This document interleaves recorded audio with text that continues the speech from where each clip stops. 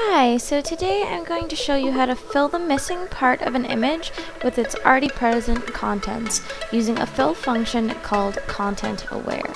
So right now I'm just making the image the size I want it to. The background I chose the size of my own background on my computer because I thought it'd be a cool image to use. So after I've selected that, I am going to go to the magic wand and select the empty white space underneath it. After I select that, I'm going to press Shift F5 and it'll say fill at the top and I'm going to choose content aware.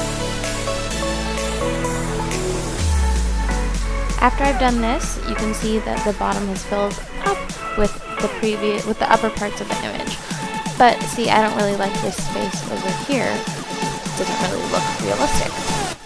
So what I'm going to do is select that space again, click Shift F5, and go Content Aware once again. There's still some points that look a little iffy, so I'm going to go to the Spot Healing Brush and go over some of those patches. You can notice that it's pulling some of the parts of the image up, up above, but it still doesn't exactly look realistic. So we're going to clean it up as much as we can with this tool.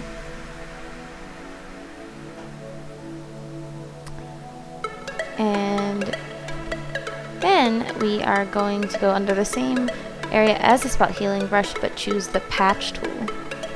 Now we're going to select an area we don't like, and by dragging it, we can move it to other parts of the images that you would think would fit a little better.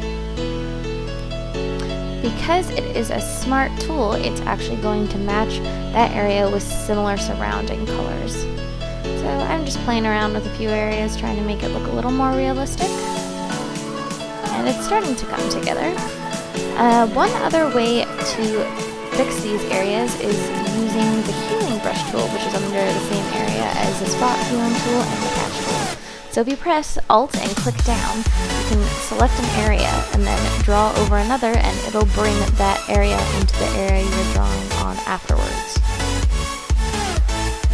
This tool's really handy, especially with doing stuff like grass or sky or anything like that. Well, I hope you enjoyed the video and you, if you have any questions, just comment below. Thanks.